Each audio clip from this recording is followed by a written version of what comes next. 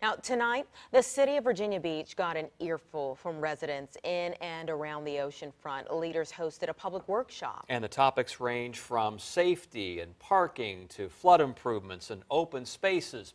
10 On Your Side's, Brett Hall was at the convention center where this event just wrapped up.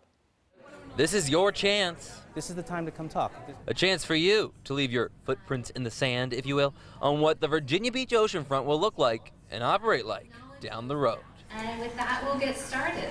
The effort is being headed by the planning department. It's important to update these area plans, especially this one, because um, we find that we're actually having an opportunity to up to complete a lot of the work. Department Director Bobby Tajan says of the top priorities set 11 years ago, the last time the plan was updated, six of them have either been completed or started.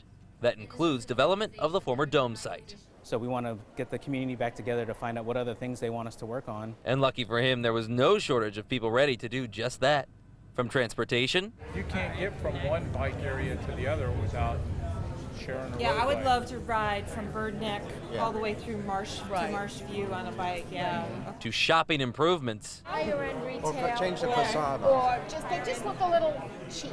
the city says all the information will be considered before a final plan is drafted. It's sort of a community movement to create a better resort area. Business owner and president of the Atlantic Avenue Association, George Kotarides, says it's important to remember it's not just hotels, shops, and restaurants. At the end of the day, it's a neighborhood. It's an amenity for the citizens, so it ought to be a great, great opportunity for the citizens to offer their input as to what they want. And I think that's what this was. And that was Brett Hall reporting. And this is just the first of several meetings. It'll be there another session in August. Council could approve the plan sometime in the fall.